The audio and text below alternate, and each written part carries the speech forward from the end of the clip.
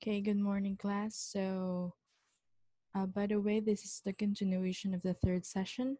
Our goal in this part is to finish the module four. So, let us start. And I'm going to share my screen to you. Uh, just wait for a sec. Right? Can you see my screen now? Right. So, we ended here in the slide. So, this is entitled Another New Operator. The operator we want to introduce now is distinguished by its appearance. The operators we've encountered so far have been coded as single characters or diag diagraphs. This new operator looks like a variable. Don't be fooled. Uh, this is a unary prefix operator and with the highest possi possible priority. There's another difference too. A typical operator requires a value as its argument and usually changes the value in certain ways. The new operator expects that its argument is a literal, literal or a variable or an expression enclosed in a parenthesis or the type name. This is uh, the only C operator which allows its argument to be a type. The operator provides uh, information on how many bytes of memory its argument occupies or may be occupied.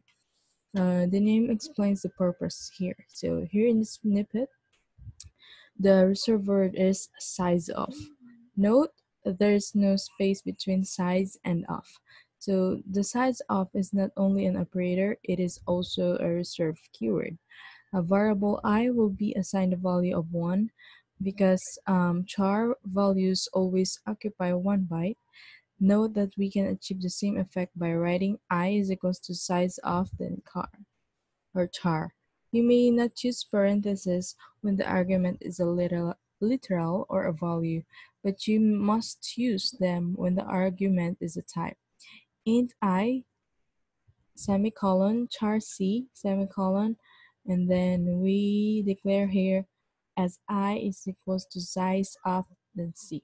So the following example is not so obvious. i uh, int i semicolon i is equals to size of i values of the int type occupy 32 bits.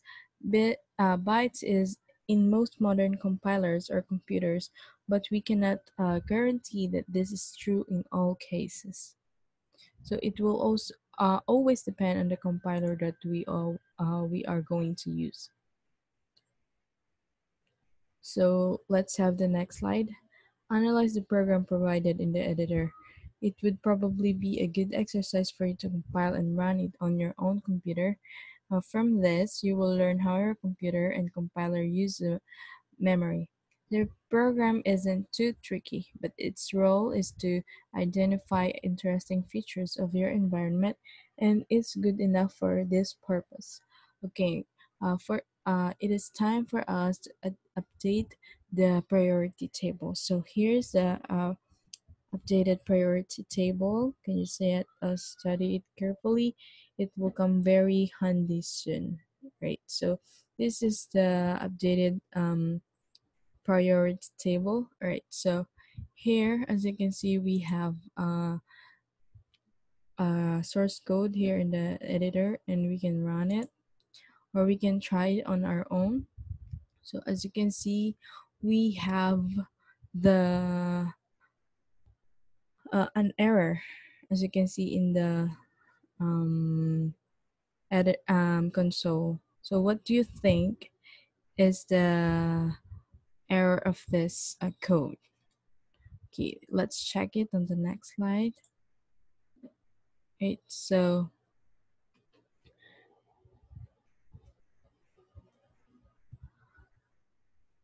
I think it's it was not uh, explained. All right, so uh, let's take a look first in this slide. Pointers and arrays comparison.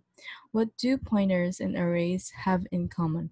Well, a lot let's start with an important definition. If you see the same in if you see the name of an array without the indices, then it's always a synonym of the pointer pointing to the first element of the array. How does it work? Look at the snippet below.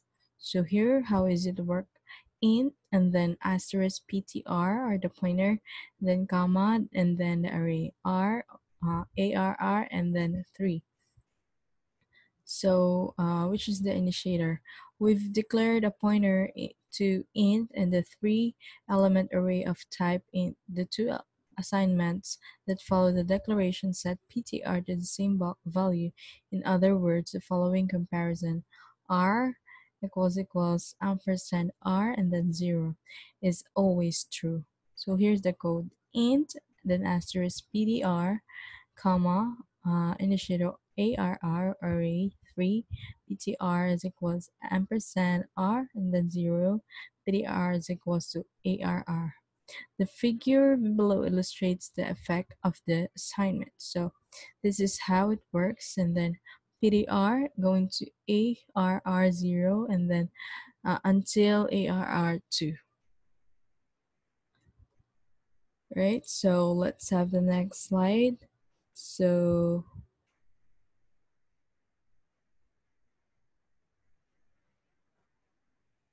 here uh, in this slide, it talks about the arithmetic of pointers. The arithmetic pointer is significantly different from the arithmetic of integers. Take note of that, as it's relatively reduced and allows the following operation only. First, adding an integer value to a pointer, giving a pointer, or how to do that.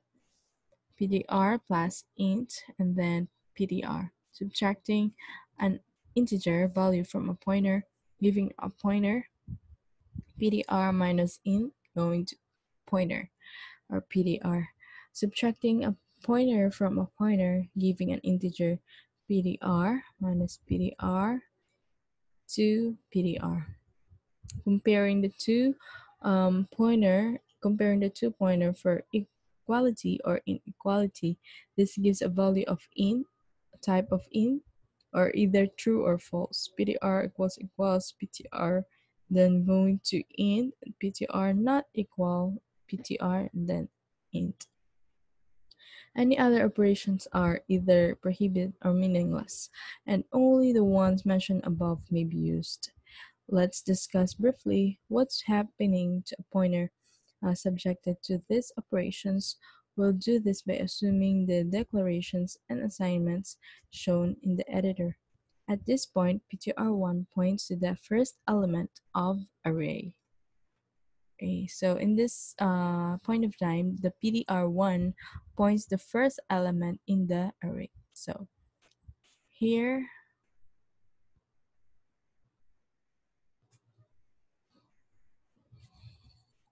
Another slide for arithmetic of pointers. After the following assignment, PTR points to the first element of array. Two, the figure shows the current states of variable. PTR2 is equals to PTR1. So how does it look?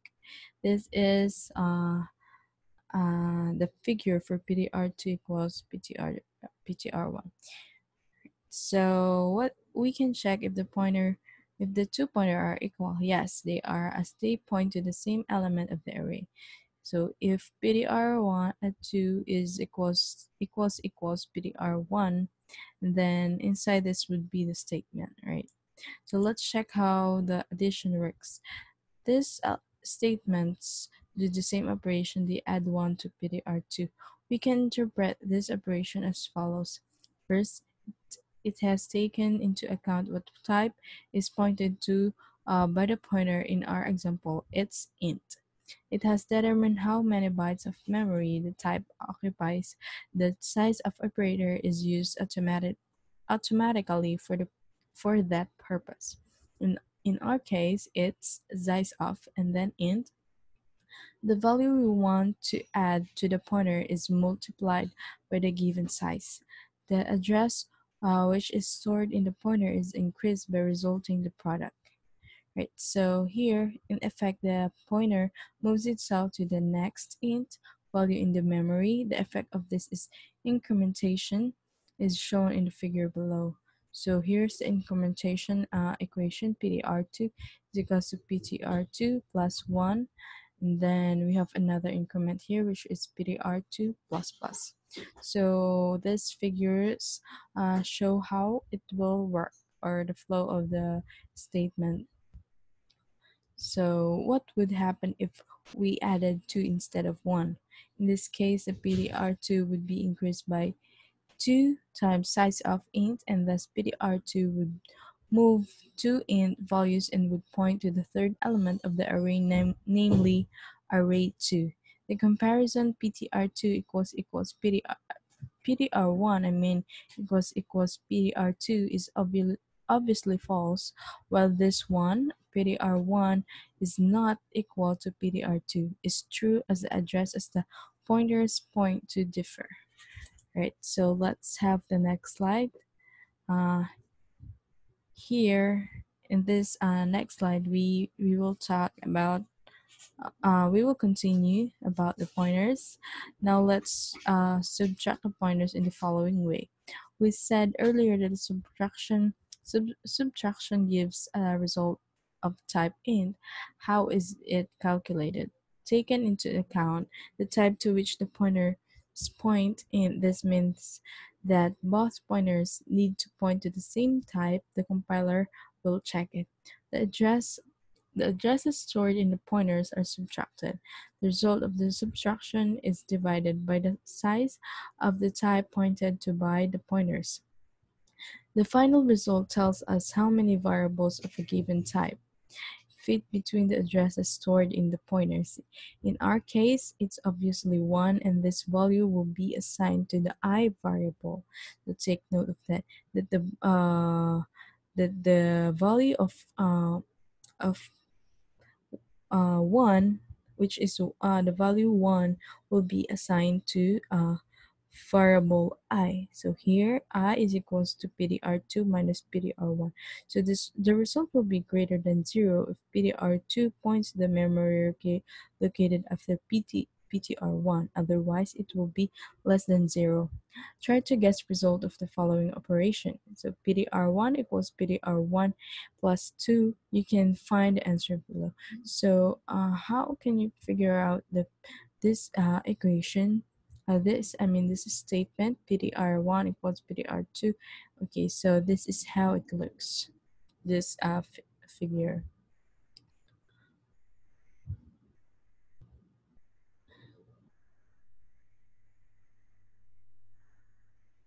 Alright, so let's assume the following operation has been performed. Can you guess the effect? PTR2 is equals to PTR2 minus 1.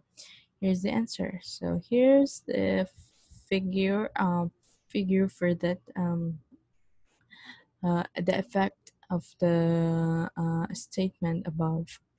So here, and try to determine the, the result of the following subtraction. So how about uh, its subtraction? PTR1 minus PTR2, it is 2? Yes, it is. All right, so what do you think? Uh, what do you think it, it is number 2?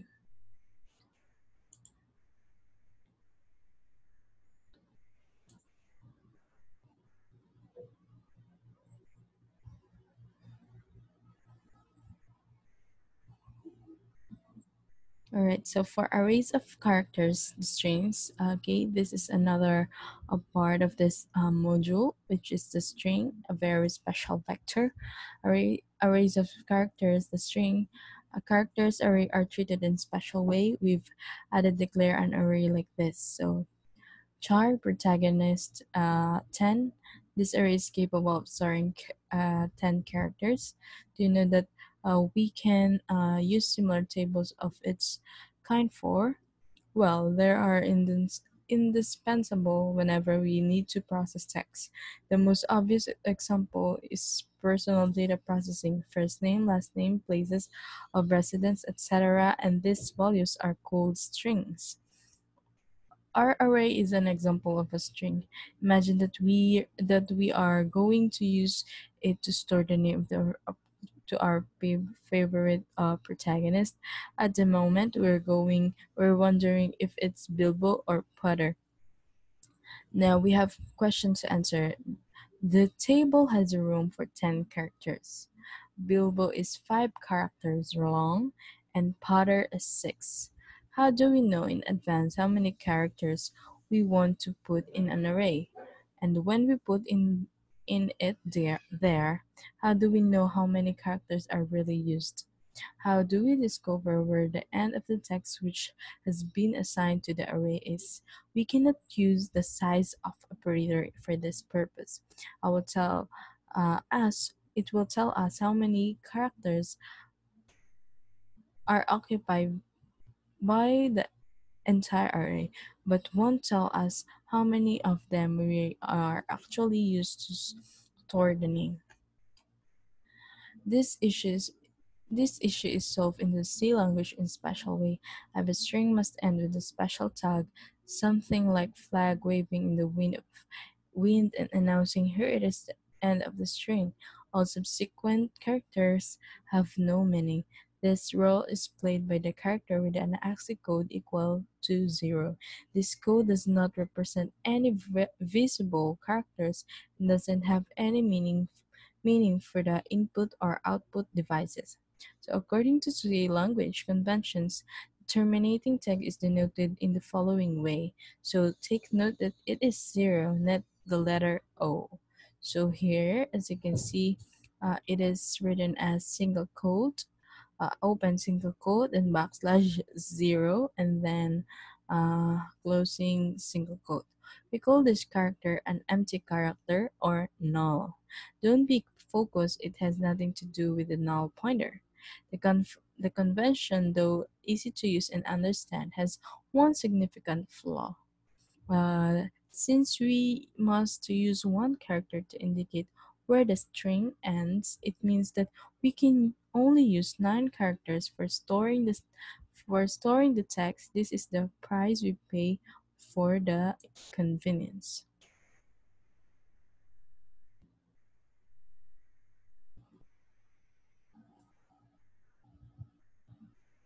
So how does it work? How do we store the name of our hobbit hero in the array? There are several methods. The first is very inconvenient and we only want to show you it, it in order to discourage you from doing it yourself. We can store the entire name by storing each character using a separate assignment as shown below. So here, um, by storing name, uh, you can store the entire name by storing each other using this as snippet. Uh, example here, protagonist 0 is equals B, protagonist 1 is equals to I, protagonist 2 is equals to L, protagonist 3 is equals to B, protagonist 4 is equals to 0, protagonist 5 is equals to backslash 0 or null. Note that the character return the sixth element of the array. We can initialize a character array in the same way as any other array like this. Char protagonist 10, B, I, L, B, O, then backslash 0. Take note that every character have a single quote, uh, open and close single quote in each character. Unfortunately, we cannot do this in the regular in the regular assignment. So in the regular assignment, uh, we cannot do this. Um, cannot do this um, initializing the character the character array. There's another method for initializing characters arrays. Don't forget it only works with characters array. You must not use it for kinds other kinds of array. So this is what it looks like. So um, here um, it is char protagonist 10 and equals to bilbo without single uh, without single quote in each but we have uh, we have double quote but without curly brackets here all right so take note of that. So you probably want to ask the following question where is the ending tag? Did you forget? No we didn't. So this would probably the other um the other uh, syntax for this one. So so you don't need to uh, type it one by one just like this one right? So let's have strings could be pointers. Whenever a string appears in the program, like the one here, A, B, C, D, E, F, G, H, I, J, the compiler treats, uh, treats in, in it in a very special way and performs the following steps. So here's the step. The first one is compiler counts how many characters are inside the string. In our example, it is 10. So the compiler reserves the memory for the strings, uh, but gets one character more than the string's length. In our example, there will be 11 bytes in use for the string. The compiler copies the entire string from our source code into the into the reserved memory and appends an empty character at the end. So pay attention, this is the most important step. This is the last step. The compiler treats the string as a pointer to the reserved memory. So don't forget a string is stored as a sequence of characters followed by empty characters but behaves as a pointer of type which is char and then asterisk. So we can now go back uh, to arrays. So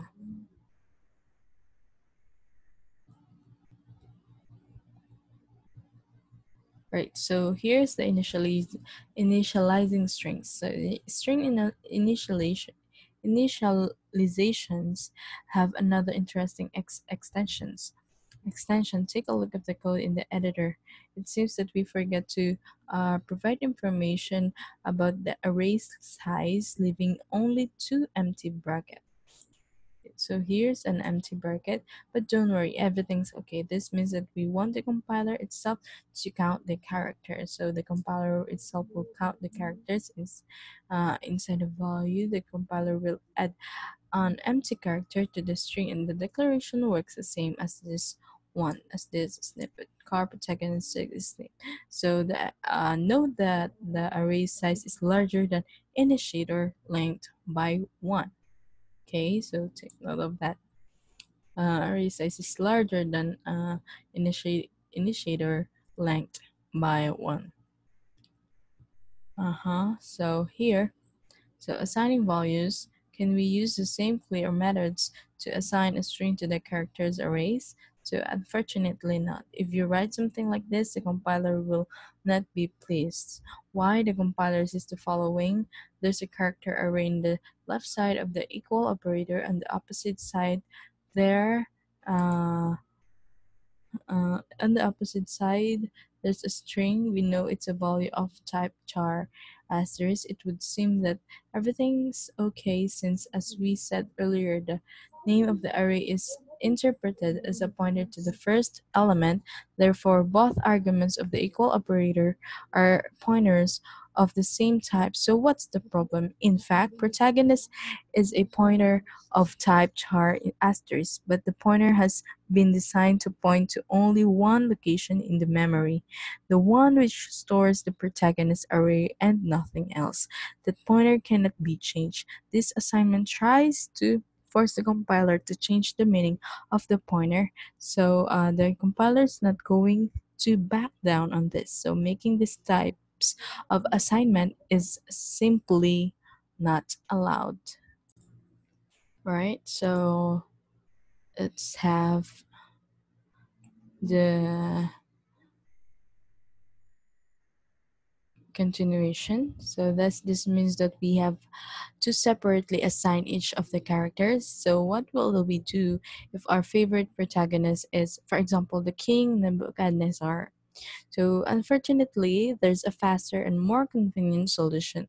So there's a function that makes this task so much easier. We will show you how it works and how we can use similar functions. Don't worry, a detailed explanation is coming soon. So this function is called strcpy. So it's a conflation of two words of string and copy. So we can invoke in the it in the following way. Look at the editor. So by analogy to the equal operator, the left argument is the one to which the string is to be copied and the right is one which is being copied. So character protagonist is equal to Snape The C language provides a rich set of functions that operates on string and we will introduce some of them soon. So a very important distinction. So now we want to show you a very important distinction. Pay attention to the examples. First, let us discuss the declaration provided in the editor. You are you are already you already know that it is uh that is the result of the file in the following. So an array of 10 characters will be created. So here here in this uh in this statement uh, the following characters F R O D O and uh, backslash zero or null will be stored in the variable.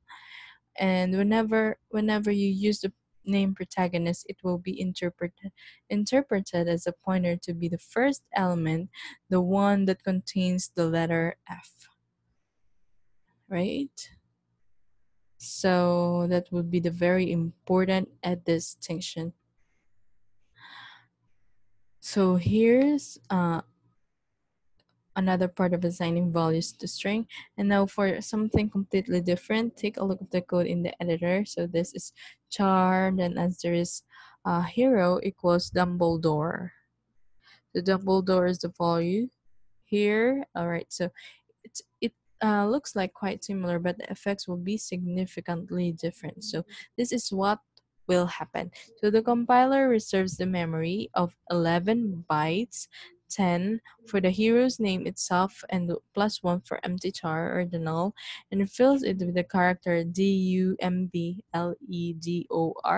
and then null. So the compiler creates a variable name hero of a type uh, char asterisk. So the compiler assigns the pointer to a newly reserved string to the hero variable. So here let's have okay so let's try this hero is equals to Sirius as Sirius. Uh, we don't expect that there will be any problems. The compiler will perform the following steps.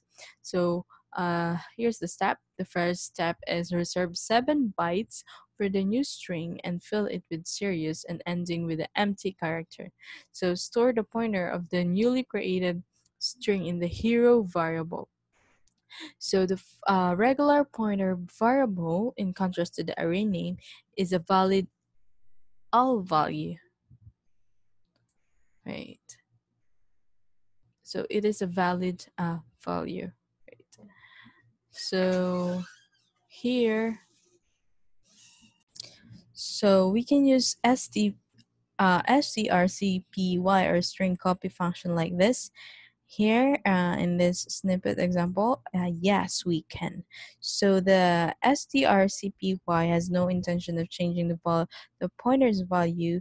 Uh, it only copies the string uh, along with its empty character into the location pointed to the hero variable.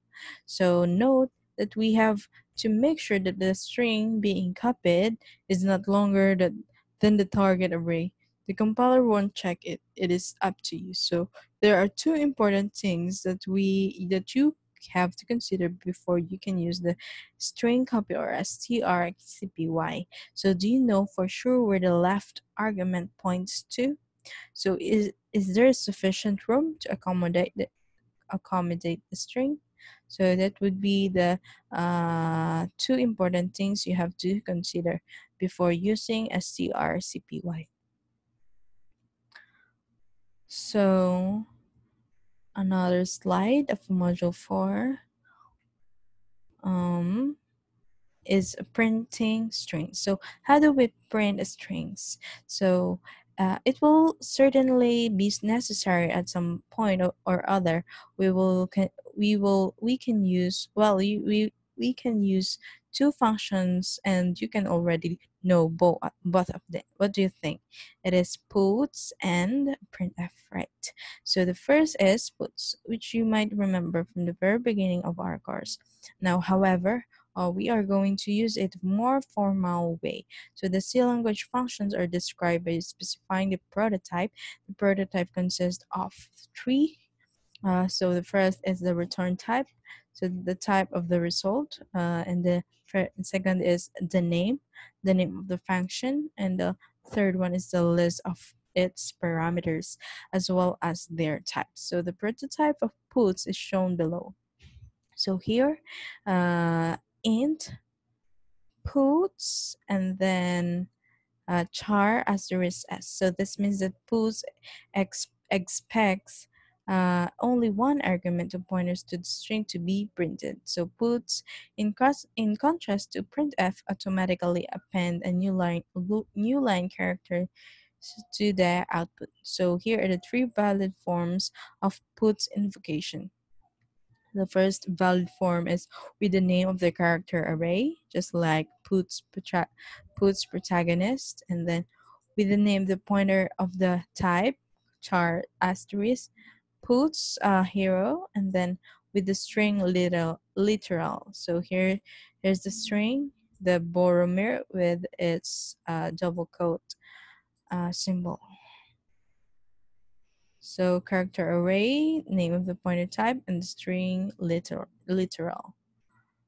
Right. So here, the puts uh, prototype specifies that the function returns as a result of type int. What does this mean? How do we use the result?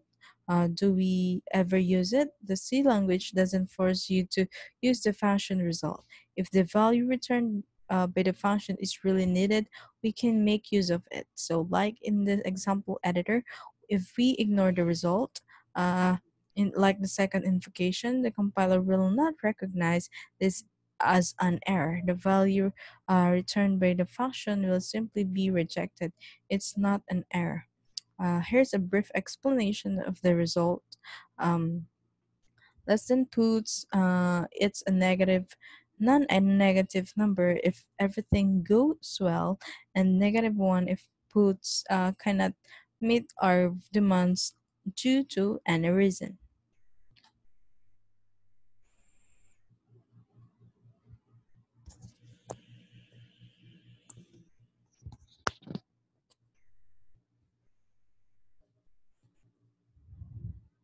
So the, the second function is printf. So take a look at the prototype of the editor.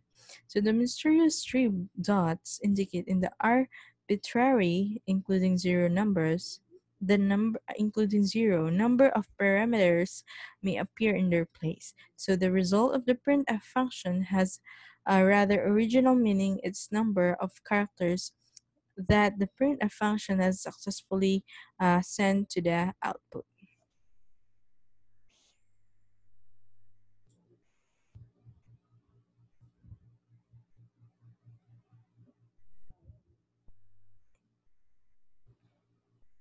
So hopefully you can still remember the specifiers because uh, now we're going to show you another one uh, designed specifically to print strings.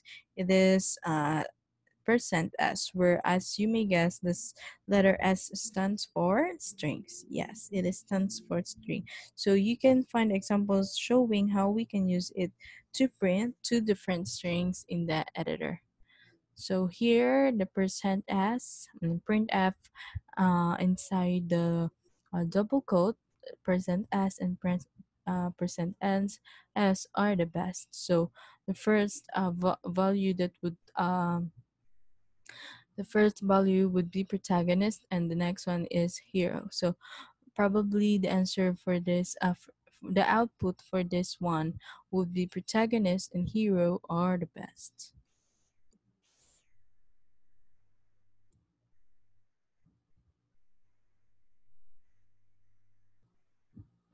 So let's have some useful functions. So let us uh, discuss some essential functions that let you work with strings efficiently and smoothly. So firstly, you need to know where their prototypes are taken from. All of them are contained in the header in a header file named string.h hash include uh, string.h. This means that you have to place the following directive in all of your programs that use any of the functions. So don't forget to add this uh, directive or header since uh, this function uh, only includes in this header. So if you forgot to uh, add this one, maybe uh, the console will prompt you an error. So uh, we all so here we also need the following two definitions. The char in string 50 so the char uh, asterisk PTR equals computer. For each of the functions, we will provide the following information. So the first one is the function names and the meaning of the name. Next one is the, the function prototype. Third one is a description of functions uh, behavior, including the meaning of the result and the purpose of its parameters. And the last one is an example to use.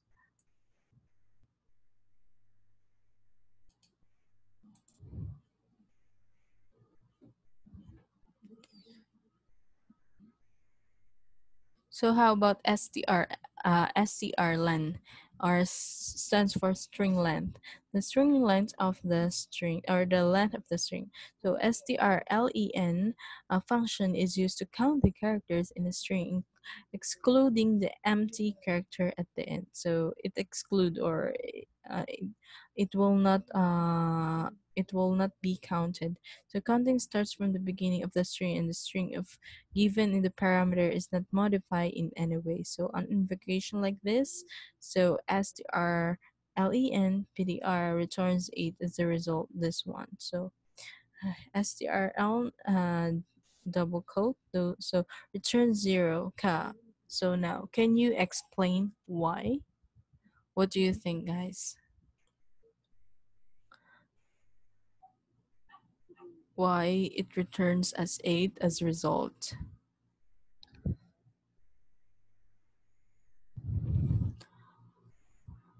So strcpy string copy make a string make a copy of a string.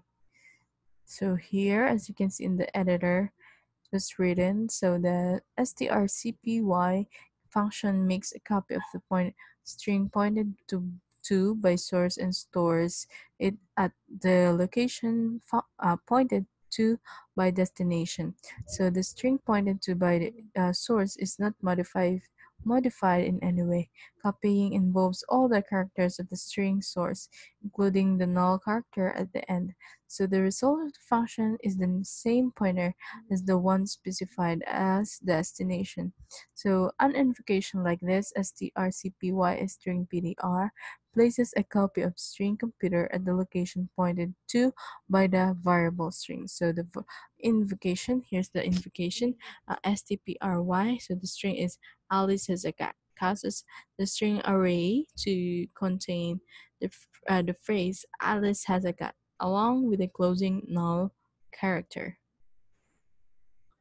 So it is always a commit. Uh, it is it is always uh, includes a null value after the um, after the string. So strn cpy. So this is another um, this is another keyword which is uh, which means a string and copy.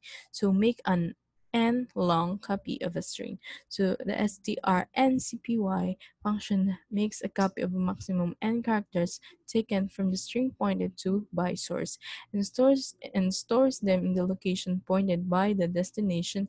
The string pointed to by source is not modified in any way. If source contains fewer characters than n, all of them are copied. So the following the, fi the finishing null character is only added to the copied string if this character is in n range. So the result is the same uh, pointer that was specified as the destination. An invocation like this, strn cpy, st string ptr then 3 was the array string with the uh, uh, letters uh, co and then m. So the invocation str cpy string alice as a cat fills the array string with the string alice.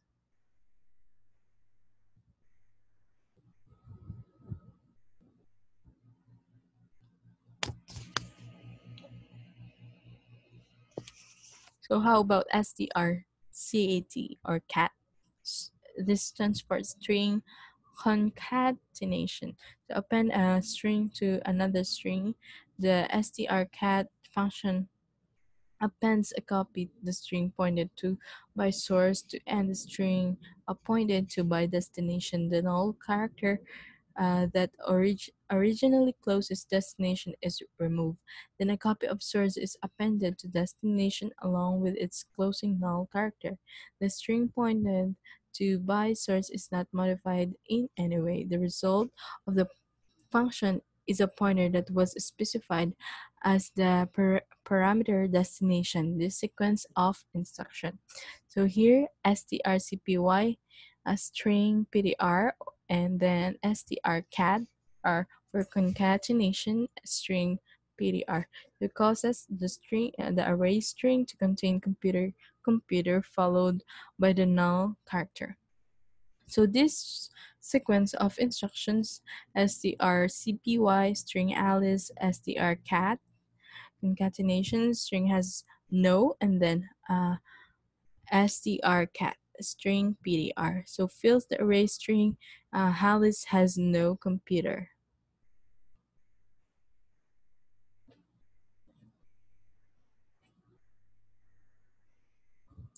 All right guys. So uh, that would be the uh, last uh, slide for the module 4 and hopefully that you can answer uh, module 4 quiz and module 4 uh, test. And I think this is question uh, we have 10 question just like uh, module 4 test. So good luck and have a good day and see you in the uh, fourth session of this uh, program. Have a good day.